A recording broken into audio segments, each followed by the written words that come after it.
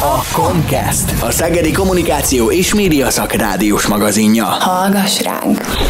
Karikó Katalin ma valószínűleg a legismertebb magyar, legalábbis Pucskás öcsi után 20 éves kitartó munkája alapozta meg azt, hogy mára elérhető a Pfizer-BioNTech modern hírvívő RNS alapú koronavírus elleni vakcinája.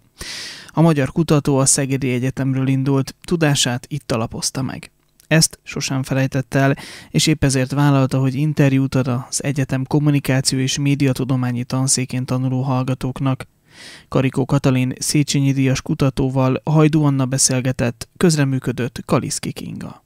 Egy korábbi interjújában mondta, hogy már gyermekkorában eldöntötte, hogy kutató szeretne lenni. Miért pont ezt a pályát választotta? Az az igazság, amikor eldöntöttem, hogy majd én biológus kutató leszek, akkor én még nem találkoztam biológus kutatóval, ezt csak úgy elképzeltem magamba, hogy majd bemegyek dolgozni, és minden nap valami újat, érdekeset, valami mást csinálok. Nyilvánvalóan a középiskolai tanáraim nagy befolyással voltak az elhatározásomra, és nagyon jó tanáraim voltak, és ők biztattak is, hogy én ilyesmire képes vagyok, és hittek bennem, ez nagyon fontos volt. Kik voltak a példaképei, vagy voltak-e példaképei, akiknek a hatására még jobban megerősödött önben, hogy itt szeretne maradni? Mikor középiskolás voltam, akkor szerettem volna annyit tudni, mint a tanáraim, dr. Tóth Albert, a biológia tanárom. Aztán amikor az egyetemre kerültem, amikor a Szegedi Biológiai Központban dolgoztam, hát akkor ott lévő kutatók voltak a példaképeim, mint a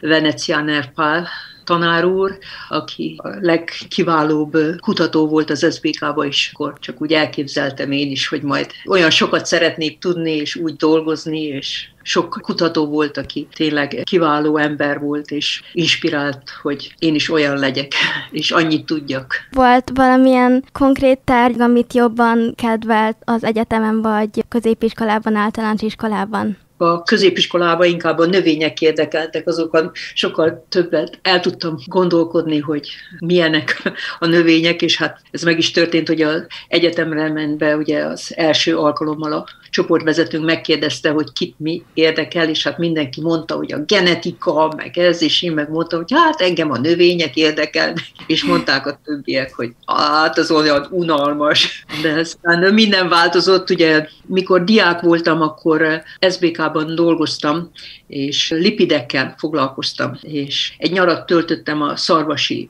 haltenyésztő kutatóintézetbe, és később pedig, amikor elvégeztem az egyetemet, a Biofizika Intézetbe az RNS csoportba kerültem. Ez egy szerves kémikusokból álló csoport volt, én voltam a biológus, és ott kis rövid RNS molekulákat szintetizáltunk, és azoknak az antivirális hatását teszteltem. Úgyhogy a életem során később is, mikor már visszatekintek, mindig azt látom, hogy olyan kollégáim vannak, akik más területen dolgoznak, és hát meg kellett találni a közös pontot, hogy szót értsünk, hogy jó fele fele haladjon a kutatás, tehát amikor szerves kémikusok voltak körülöttem, én voltam a pirológus, amikor elkerültem Amerikába, akkor körülöttem kardiológusok voltak, én voltam a molekuláris biológus, és hát így aztán mindig össze kellett szednem magam, és hát megtalálni a közös, közös hangot. És végül is, amikor Drew Weissmannal dolgoztunk, ő volt az immunológus, és ő volt a vakcinológus, én pedig voltam a molekuláris biológus, az RNS szakértő.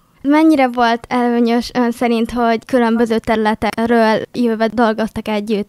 Az volt az előnye, hogy tanultunk állandóan a másik kollégától, és én is segítettem őket, hogy megtanulják azt a területet, ami én nekem nagyobb ismeretem volt, de ugyanakkor az megvolt, hogy ha valamit nem értettem, vagy nem tudtam, akkor nem tudtam a főnöktől megkérdezni, hanem az a saját területemen lévő tudáshiányosságok után magamnak kellett utána nézni, vagy megkeresni kollégákat, akik többet tudnak erről, és hát hogy megtanultam, hogy hogyan szerezzem be ezeket az információkat, mert hát ezen az RNS területén is nem csak, hogy az RNS-t meg kell csinálni, hanem az RNS az lebomlik, mi lesz a nukleotidokkal, a nukleozidokkal, hogy veszi föl a sejt. Szóval akkor a nagy terület volt, és hát mindig rájöttem, hogy hát azt gondolom, hogy én értek ehhez, mikor még ezt se tudom, meg azt se tudom, és akkor mindig fölbuzdultam rajta, hogy minél alaposabban, minél szerteágazóbban megértsek egy-egy területet az RNS-sel kapcsolatban is. Ön az eltére is beadta a jelentkezését.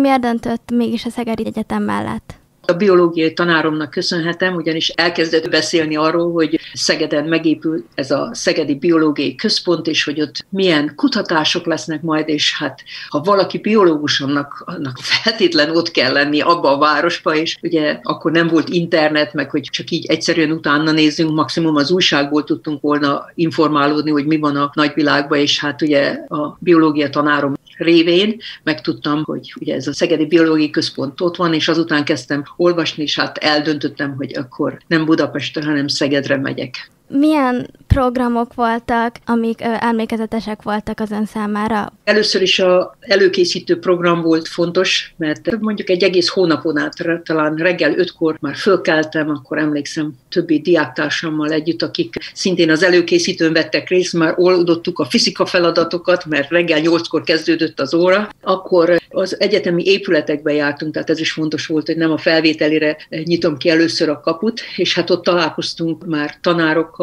és Csoknya tanárnő, Csoknya Mária és, és Aranka néni volt ott, és nagyon kedvesek voltak, és hát a tél során újra visszatértem, egy ilyen előkészítőr, az csak egy egy volt a téli szünetbe, még gimnazista koromban, és aztán, amikor megkezdődött az egyetemen az oktatás, hát elmondom, hogy reggel 4-8-tól, hétfőn kezdtünk reggel 4-8-tól, este 8 óráig volt, szinte minden nap, még szombaton is oktatás volt, és rengeteg óra volt, matematika, fizika, kémia, mindenféle kémiát tanultunk, analitika, kémia, szerves kémia, és hát a biológiai területön pedig hát ugye tanultunk először növény és állat szervezettant, aztán rendszertant a következőben, aztán élettant, és hát memorizáltuk a csontok, az izmok, a mindennek a latin nevét, és hát növény tan esetén emlékszem, a kint a füvészkerbe tanultuk a növényeknek a latin nevét, és hát sétáltunk ott az egész csoport, és mindenki mormolt valamit, próbált emlékezni a növényekre, mert ott kellett fölmondani, és a táblák meg voltak fordítva, és hát persze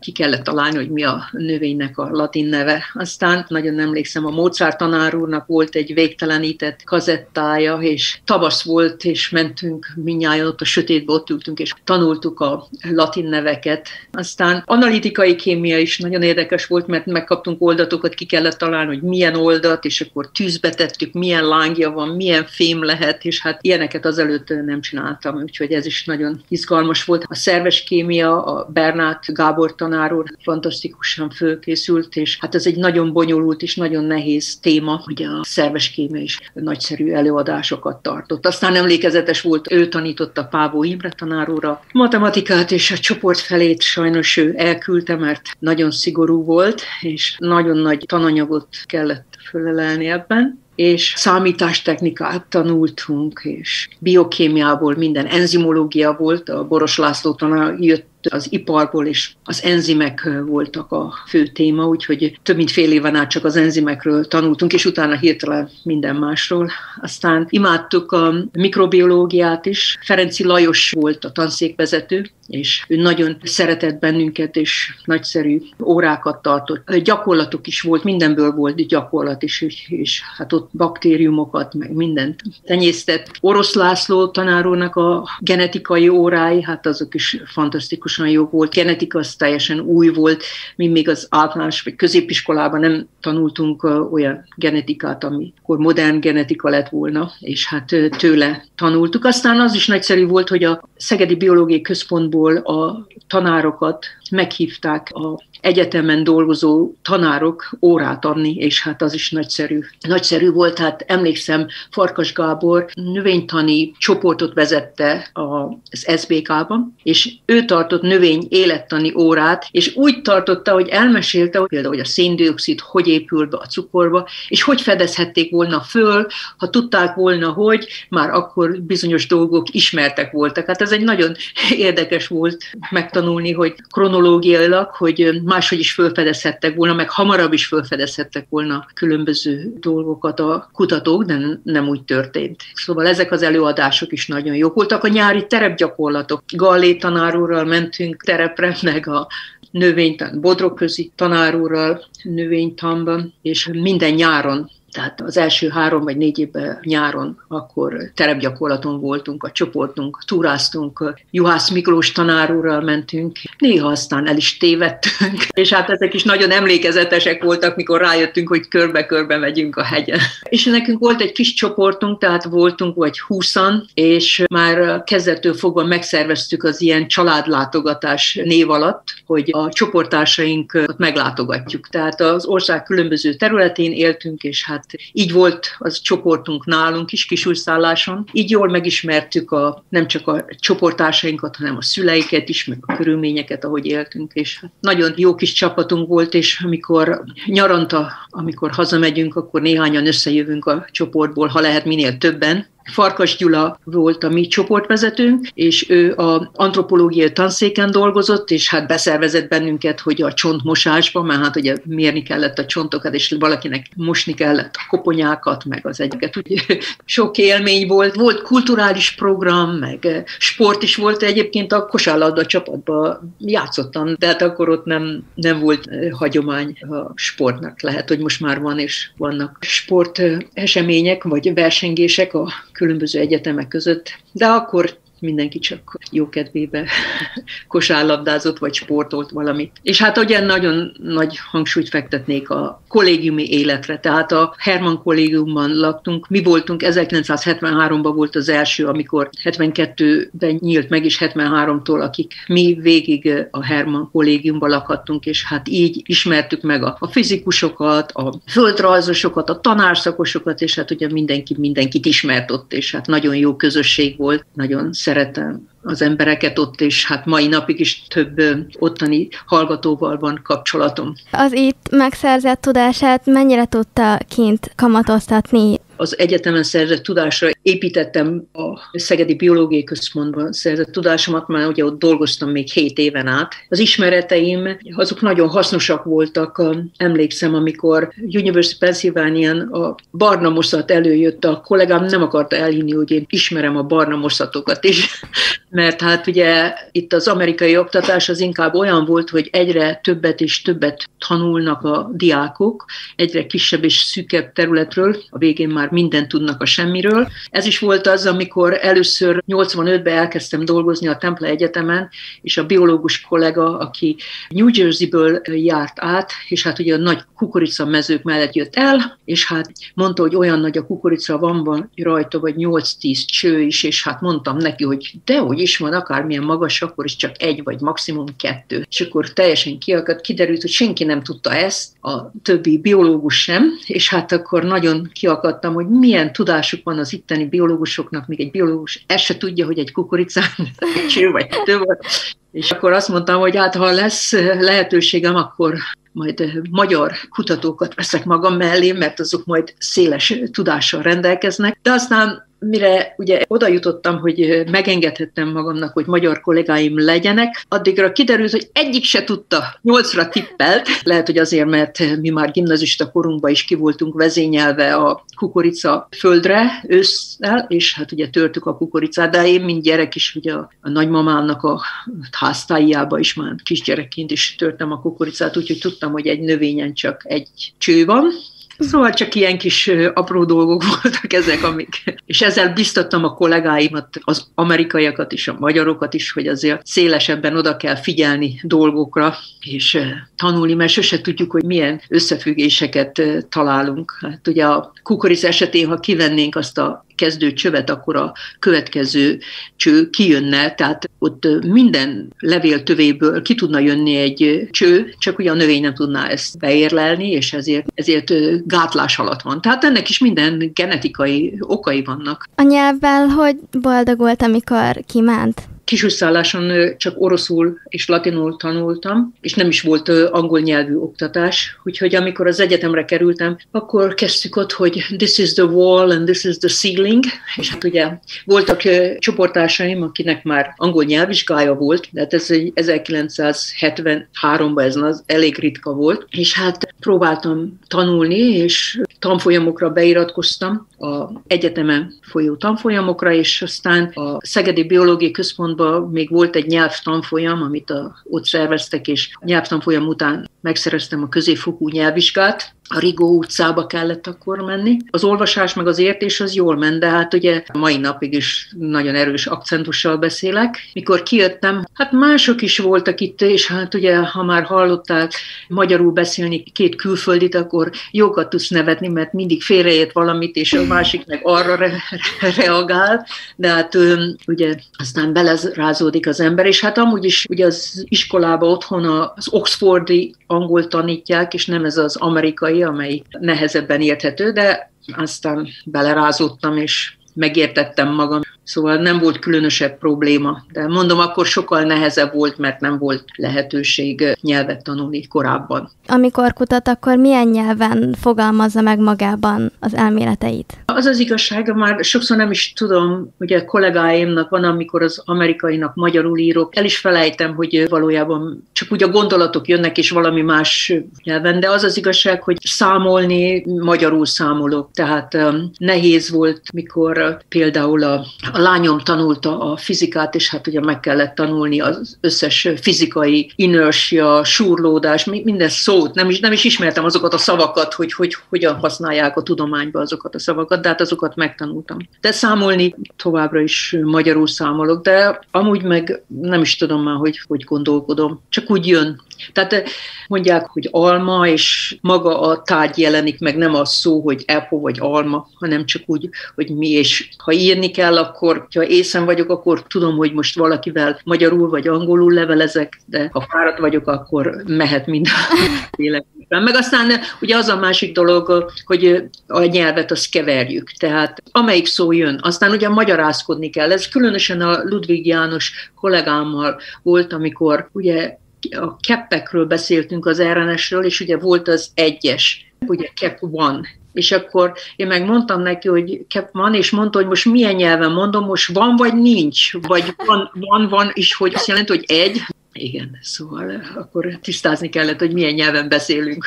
Ha most lenne lehetősége, hogy egy alkalommal valamilyen más hivatást vagy szakmát ki tudna próbálni, mi lenne az? Valójában mindegyik a tudományból ered. Egy cég megalapítása, ugye ezt már egyszer megtettem, mert 2006-ban megalapítottuk az RNA-RX nevű céget a módosított RNS-ekre, és most modernáról beszélünk, és nem az RNA-RX-ről, de egy cég alapítása, és az, hogy mi mindent kell, az, az egy olyan sokrétű feladat, más jellegű, mint a kutatás. És hát az lenne egy dolog, amit ha lesz időm és energiám, akkor még egy céget szeretnék alapítani, amelyik olyasmit csinál, amelyik már 20 éve gondolkodom és tanulmányozok, de még ugye nem publikáltam róla semmit, mert minden csak elméleti alapon van, és akkor hogy arra alapítani, hogy annak a kipróbálására, amik ez alatt az idő alatt gondolatban összegyűltek, és hát persze lehet, hogy lehetőségem lesz rá, ki tudja. Mindig tele vagyok tervekkel. Most a vakcinával kapcsolatban nagyon sok megkeresés jön önhöz a médián. Ez miként hat az ön labor munkájára, a kutatásira, pozitív, negatív hatásai vannak a munkájára? Nyilvánvalóan elveszi az időmet attól, hogy most cikkeket olvassak például, az, az hiányzik a legjobban, úgyhogy rágondolok, hogy egy évvel ezelőtt csak megláttam egy érdekes cikket, és volt időm, hogy végigolvassam és elgondolkozzak rajta, és most meg meglátom a címét, és csak nézem, hogy de jó lenne elolvasni. Ugyanakkor megpróbálok felhasználni ezt az időt arra, hogy ráirányítsam a figyelmet a kutatás fontosságára, a kutatók megbecsülésére, az orvosok, a tanárok megbecsülésére, mert hát ugye, ha tanárok nem indítanak bennünket el ezen az úton, akkor nem lesznek kutatók, és az ő munkájuk ugye nem, nem az a reggel 8-tól délután 5-ig tartó munka, hanem ugye ez egy hivatás, ahol minden pillanatukat a diákokért teszik, és hát nekem is ugye meg kell mindannyiunknak köszönni a tanárainknak a munkáját, akik irányítottak bennünket. Úgyhogy ez az igazság, hogy amikor a lányom második osztály általános iskolából hazajött, vakáció volt, ledobta a cuccát, és elkezdett egy levelet írni, és kérdeztem tőle, hogy hát mit, mit csinálsz? És mondta, hogy hát a Mrs. Wilsonnak megköszönöm, ez egy olyan nagyszerű év volt, és hát írok neki egy köszönő levelet. Hát megmondom neked, hogy hát elszégyeltem magam, és gondolkodtam, hogy talán én meg nem is írtam, és nem is köszöntem meg a tanárjaimnak, és attól kezdve igyekeztem leveleket írni és megköszönni. Úgyhogy mindenkitől tanulhatunk, még egy kis iskolástól is. Sem késő. Hát lehet, hogy gondoljuk, de elfelejtjük a tanárainknak megmondani, hogy milyen fontosak voltak az életünkben, és ők ugye pláne a mikorunkban nyelték a krétát, meg mindent, és nagyon szorgalmasan fölkészültek, a kémia tanárom szemléltetett, bemutatta a kísérleteket, és mi, mi meg elfelejtjük nekik megköszönni. Fontos lenne az, hogy ők is tudják, hogy milyen fontos volt az, amit tettek. Ugye most az egész világon egyre jobban terjed a vírusnak a mutáns változata. Erre a vakcina mennyire hatásos? Vagy ezekre új vakcina kell esetleg?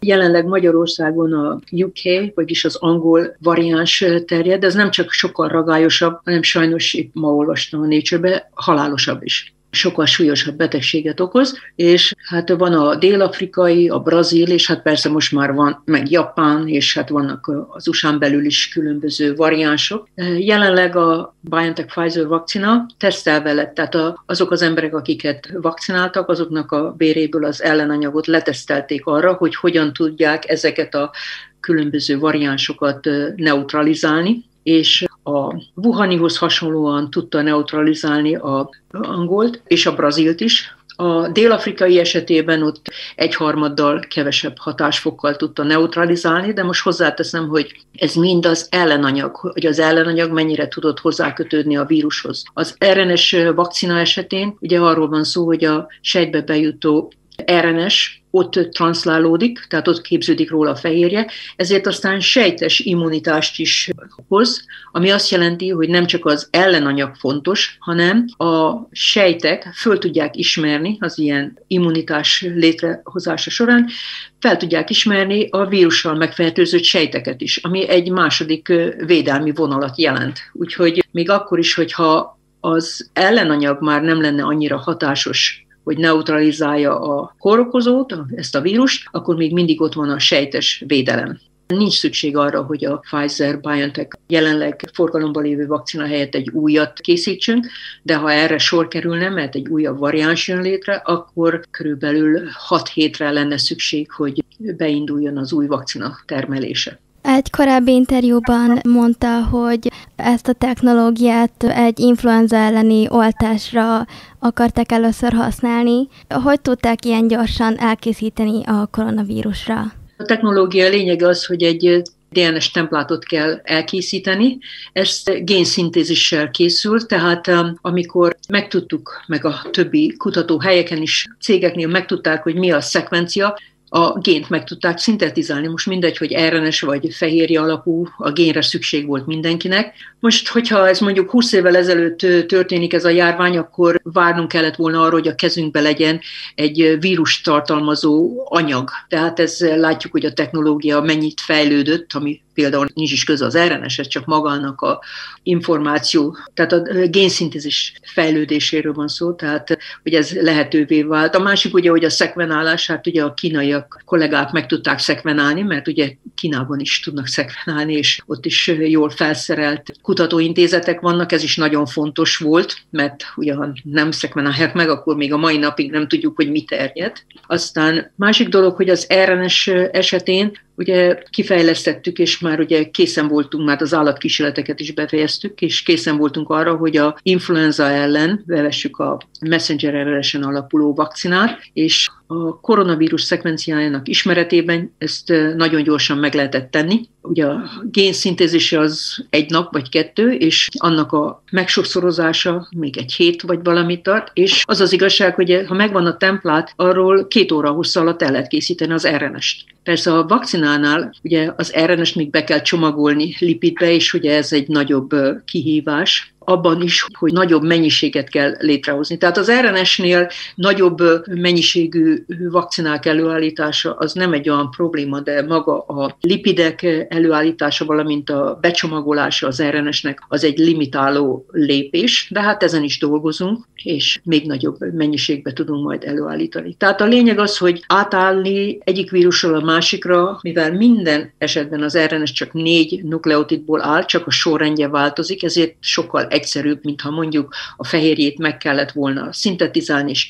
tisztítani, mert ugye a fehérjének a szerkezete minden az sokkal komplexebb, és az sokkal több kísérletet igényelt volna de ugye a mi esetünkben a messenger RNS-ről a tüskefehérje a saját sejtjeinkbe készül el, ugyanúgy, mint hogyha megfertőzött volna bennünket a vírus. Csak ugye a 29 féle fehérjéből csak egyetlen egyet készítünk el, az, amelyik fontos ahhoz, hogy immunválaszt indukáljunk a szervezetünkbe. Aki megfertőződött a vírussal, és már immunális úgymond a vírusra, és úgy adatja be, akkor ő nála egy nagyobb védettség alakul ki így? A vakcinálás úgy történik, hogy két dózis kap valaki. Az elsőt úgy hívják, hogy prime, és a másodikat meg, hogy boost, amit kap mondjuk három héttel, vagy négy héttel, vagy még később. És hát ugye a fertőzés számíthat már úgy is, hogy prime, vagyis az első dózis, és aztán ugye megkapja a második dózist, amit mondjuk már RNS formájában kap tehát kialakul egy megfelelő immunitás. Azt hiszem a legújabb tudományos eredmények alapján úgy nézett ki, hogy a fertőzés után elegendő lenne egy dózist adni, és akkor tartós immunitás kialakul. Ugye azt nem tudjuk, hogy milyen sokáig tart, mert ugye ahhoz az kell, hogy elteljen az idő. Mert ha azt mondom most, hogy öt évig megvéd, azt honnan tudnám? Mert még nem telt el még egy év se attól, hogy ugye az első embereket beoltották